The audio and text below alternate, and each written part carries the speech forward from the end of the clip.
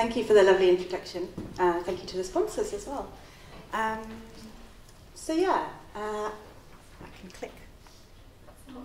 That's not my slide. no, wait. Too many buttons I need to press. Ah, that's better. Um, yeah, so my name's Nicky. I'm a technical manager at a company called FutureLearn. We're transforming access to education online.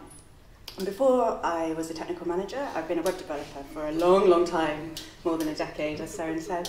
I don't want to tell you how, many, how much more. Um, but I'm definitely on the developer end of the sort of designer-developer skill set.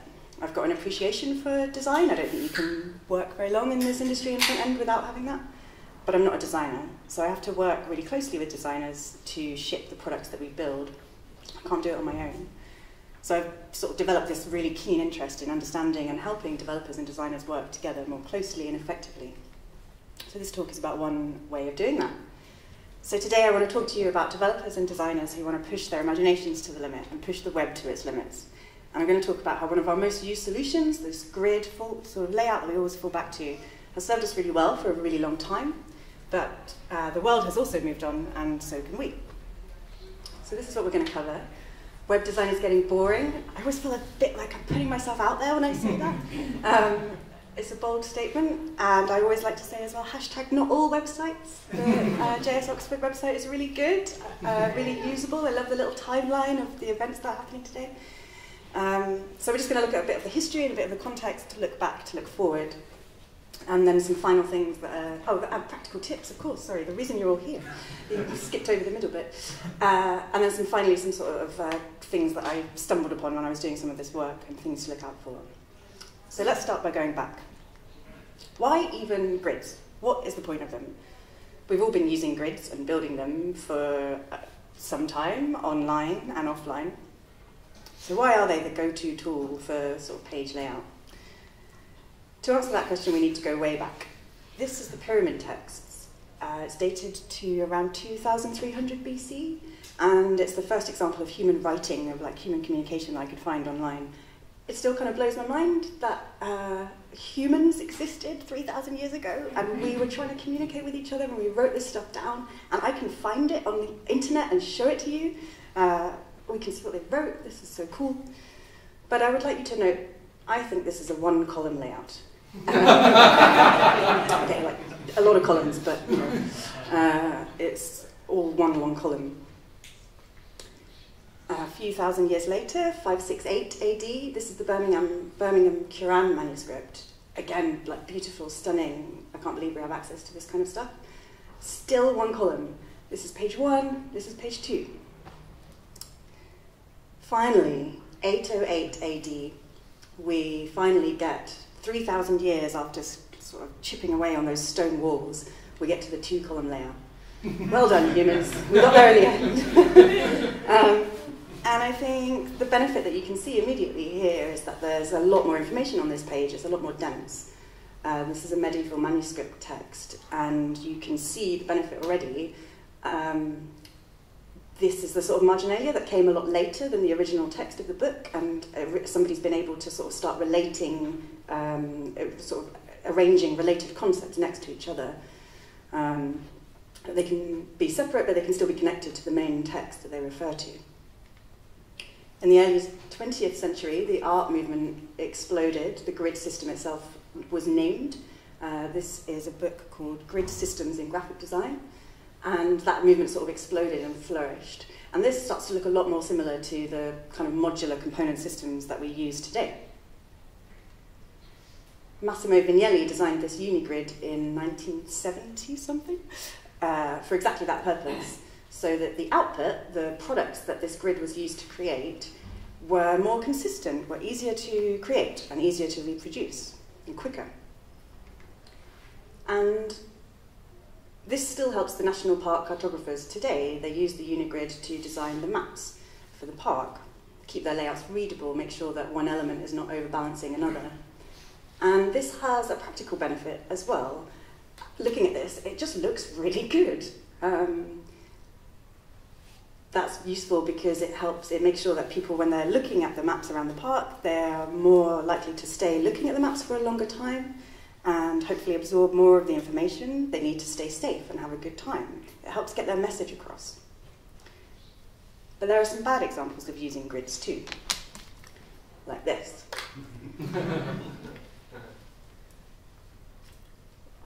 so this tweet is from more than two years ago now. I don't think a huge amount has changed.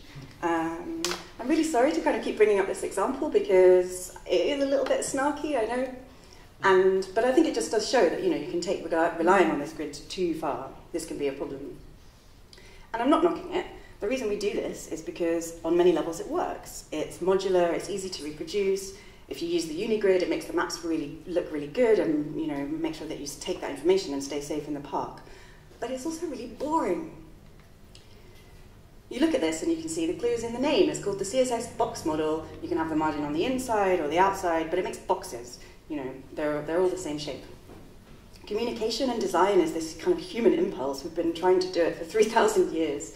Uh, it has this kind of long and rich history, and I think it's a shame that we don't make more use of it.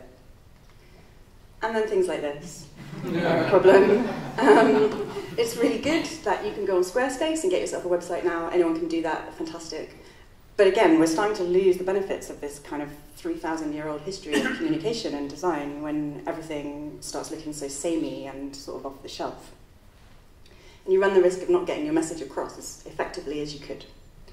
So the only reason I'm really even giving this talk is that um, through like many conversations over many years with friends, designer friends and developer friends of mine at work, and they say, hey, we've got this box, we've made this layout, you know, what can you do to make it look a bit more interesting? And for the last 10 years, all I've been able to really say is, well, I could put rounded corners on it. it's not very satisfying. Nobody's really pleased with that answer.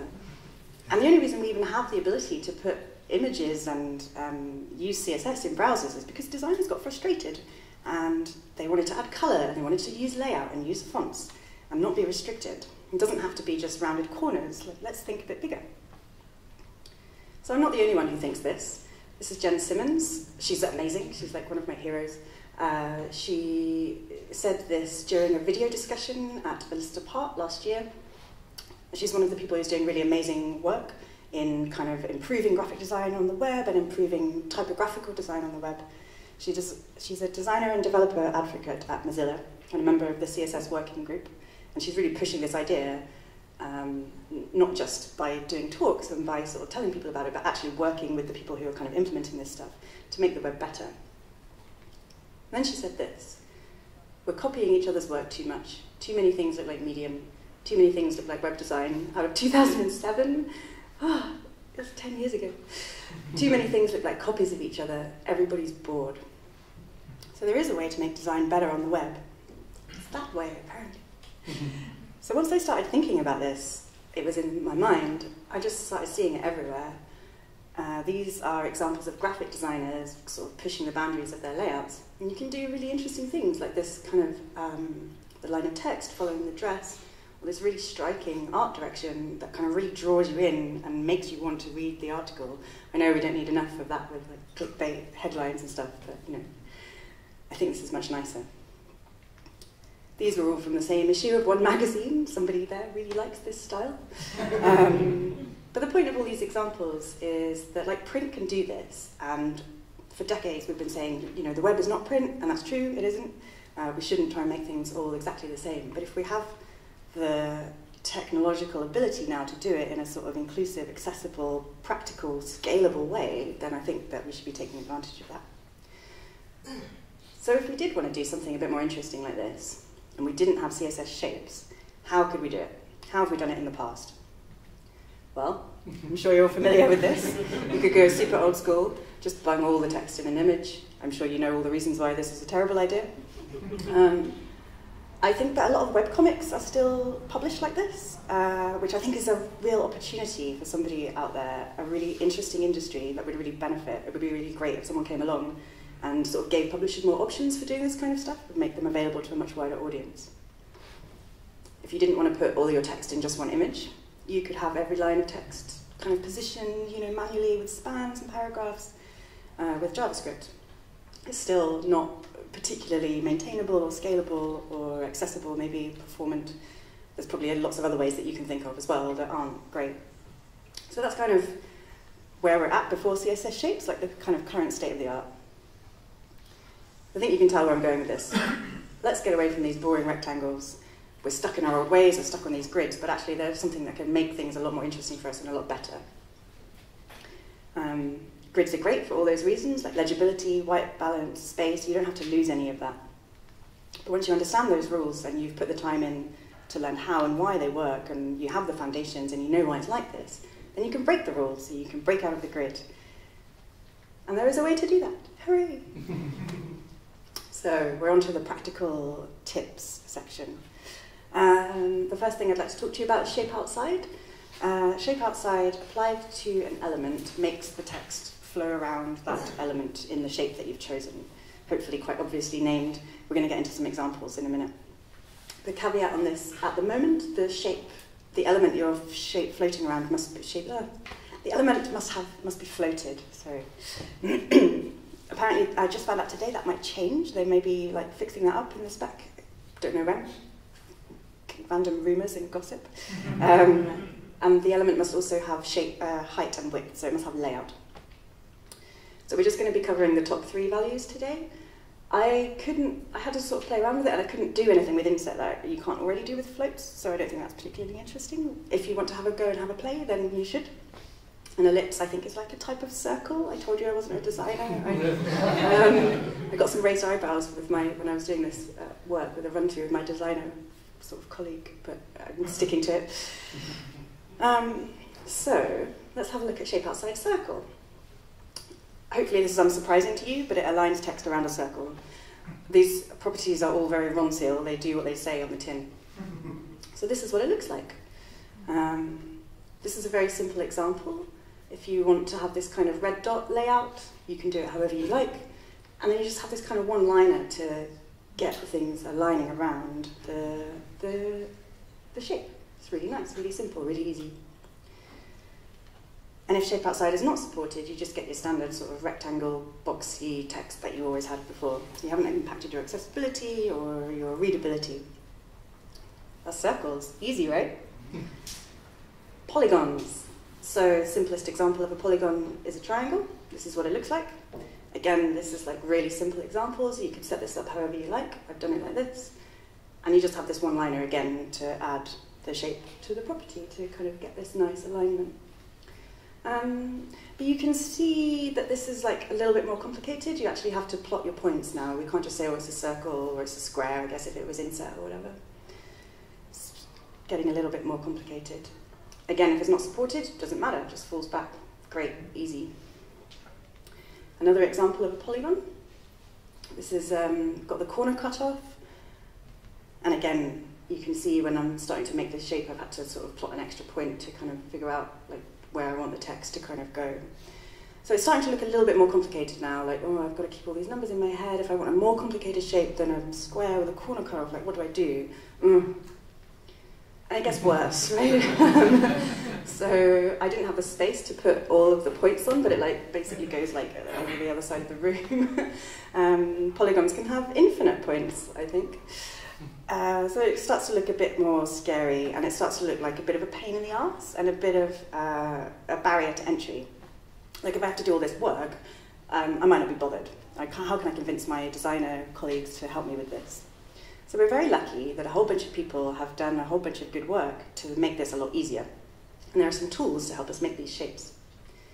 So I have a video. I don't have any sound for this. Hopefully this is okay. Um, this is Firefox Nightly, but this tool has just landed in Firefox, I think, so everybody has access to this now. So I've got my DevTools open, uh, and I'm going to go and select the element that has the shape applied to it, which is the cat. And then when I do that, I'm sorry it's so small, um, you start getting these kind of rules out here, and there's a tiny little button next to the shape outside, and if I click on it, I can see the points that I've got. It's like, oh my god, this blew my mind when I first saw it Like, look, mom, I'm a designer. Amazing. Um, so the lovely thing about this is that everything updates in real time here. So once you've kind of sat and played about with it and made it how you want, you can just copy those over and straight into your code. Um, these tools also are not just for shape outside. I think there's like a grid editor in there as well if you want to do CSS grid. Um, and I think, yeah, this is just from Firefox. So, yeah, go and have a play with that because it's amazing. The power of the browser now is just phenomenal. Uh, if you don't like Firefox, there's an editor for Chrome as well. It works in a very similar way.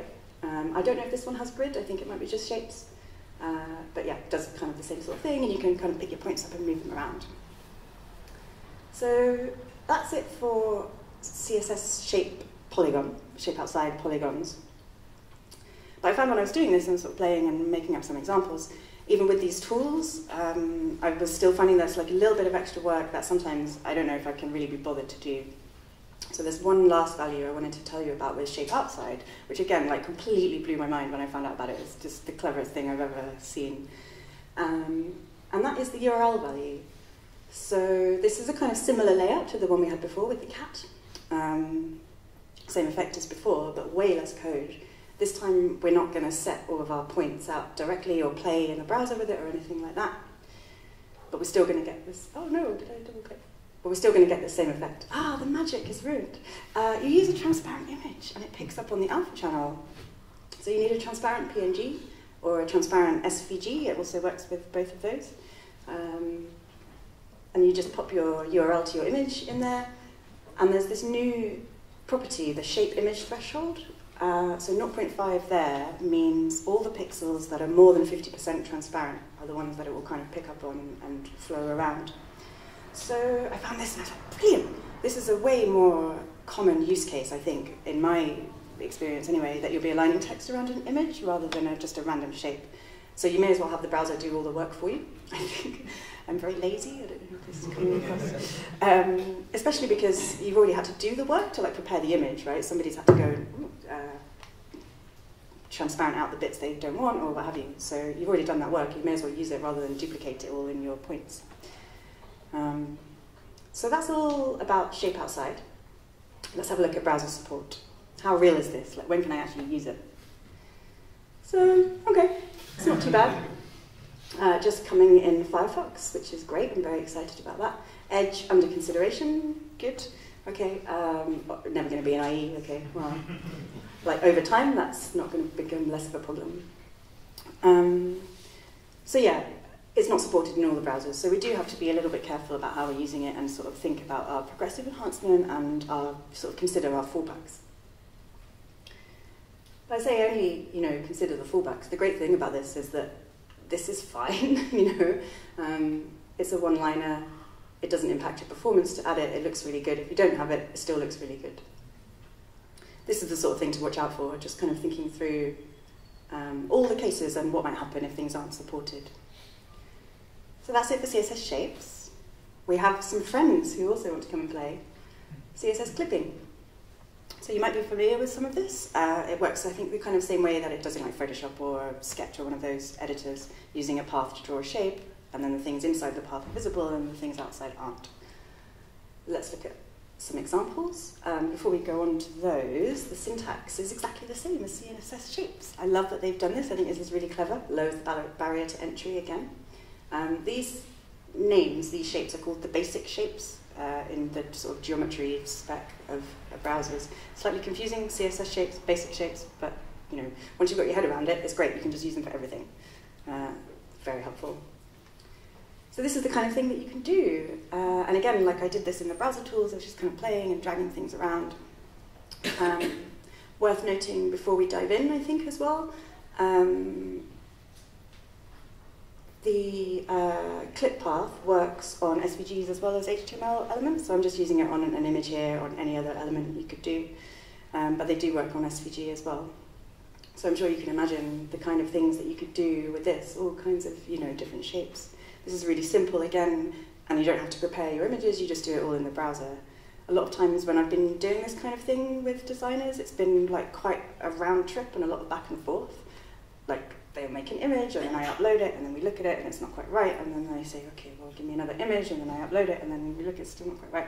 So, um, but with this, you just like sit and play with the points in the browser and it's just so much quicker, giving designers a lot more control over the sort of end result. I think a lot quicker as well. Um, So this is a real-world example of ClipPath. This is the website that I work for, FutureLearn. Um, this is what the amazing learner growth team used to build a new module for the homepage, which is that top kind of banner aspect. And they wanted the uh, steps, we call them, the future FutureLearn steps, to kind of wiggle down between those images. Sometimes also reflected on our branding, although not apparently on this slide. Um, so that's nice, we like that. Um, this is how it looks on mobile. Um, all of this stuff, like CSS clip path and also CSS Shapes, uses any CSS unit, so it can be responsive. I think they use calc and um, percentages to make this work. Rems, Ems, whatever you like, whatever works for your sort of situation. And again, it's a one-liner. You have to kind of work out your points, and we had this sort of slightly complicated design, so we did that, and we were happy to do that.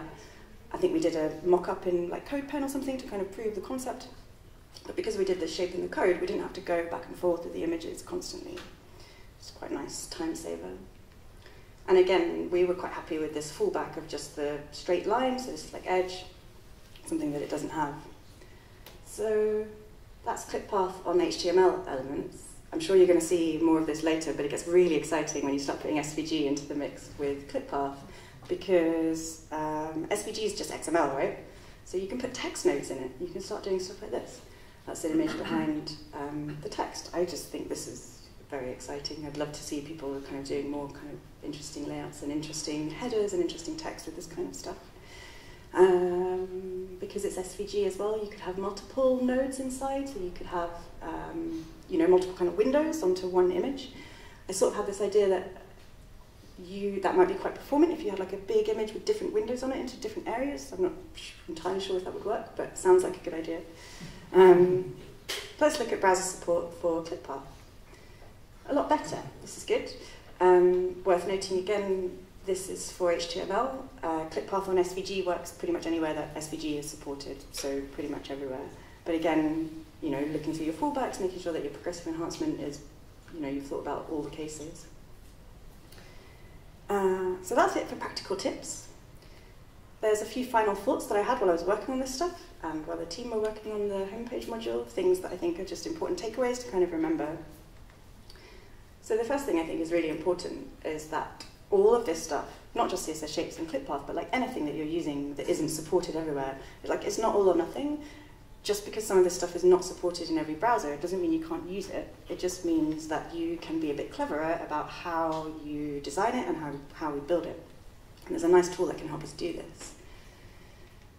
So what do you do if you've made a really nice design, but it's a little bit more complicated than this? These are really simple examples on purpose to sort of help build up our understanding um, of how these things work. And I, yeah, I did that on purpose. Triangles and circles, yeah, they look really good. But actually, you know, in my team, in my production website, uh, it's going to be a little bit more complicated. Um, so going back to the example that I showed you earlier, this is what we wanted to build, and we were quite happy with this fallback. When I showed you this example before, actually, I was, again, simplifying it um, there's something wrong with this picture, uh, very subtly wrong, but we were not happy with this fallback as it stands. Uh, if, you, um, if you look at it in the browser or you have the eye for it, you can see that it's not perfectly symmetrical, and this is a problem. We weren't actually happy with this the first time that we did it. So we added some margin so that they do actually line up. Great. But now we don't want the margin if the clip path is applied. Oh, like, I'm starting to get really confused. Mm. It's okay. We can get back to this. We just reset the margin inside a feature query. So there's a new thing, you might have heard about it, the supports keyword. We say if clip path is supported, then we take away that margin that we added for when it isn't supported. And again, like it's really simple, it's like two lines. Um, it works a lot like the media query. Syntax is very sim similar. Um, and I just wanted to reiterate as well, after saying all of that, you don't have to do this. Um, if you're happy with a sort of slightly unsymmetrical fallback, then that's completely fine. If you need to do some shenanigans and resetting and overriding, then you can just include those in that supports block, and yeah, that's fine too. Your fallback won't be affected. The important thing to note here is that, yeah, in all those other examples, the circle, the triangle, it was fine. We don't have to do it. It just defaults back to a rectangle. The supports keyword is for more when you're in a slightly more like complicated real life situation and you want to finesse the detail. You only have to use supports if the natural fallback, you know, is something you're not happy with. So next up, building on that, I suppose, is to say, like this can be a bold statement and a bold layout and something like you're thinking really big, or it can just be a really small enhancement. But the important thing to remember with all of these things is to remember those kind of inclusive design patterns. So this is from a real website, an example in the world, and one thing I wanted to highlight here is that all of the sort of real world examples that I've seen have the ragged edge of the text on the right hand side and not the left. And that's really important in left to right languages. Reading from ragged edges on the sort of starting end of the line is really difficult. Your eye can't like sort of go back to the line and find it. Even more difficult if you have dyslexia or anything else that sort of makes it harder for you to read, but it's, it's difficult for anybody, so don't do that. the final thing I wanted to say was this kind of, yeah, use it or lose it, I guess. Um, this looks a bit dry, and it is. This is the spec for CSS shapes. I'm not really recommending that you like go and read it, um, but I think it is kind of important to keep an eye on stuff like this. I guess that's why we're all here tonight.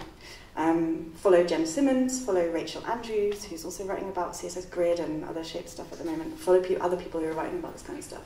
Because if we don't use it, the browser implementers will just think that we don't want it and they'll take it away. You know, that's actually happened with uh, CSS shape inside.